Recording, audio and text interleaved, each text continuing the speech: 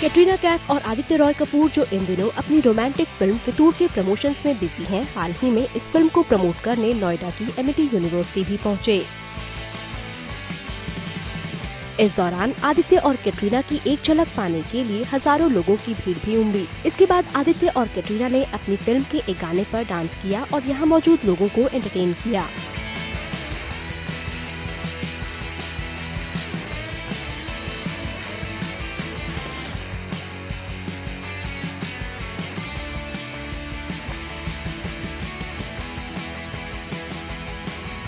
अभिषेक कपूर के डायरेक्शन में बनी फितूर 12 फरवरी को रिलीज़ हो रही है। इस फ़िल्म में आदित्य और कैटरीना पहली बार एक दूसरे के साथ स्क्रीन शेयर कर रहे हैं।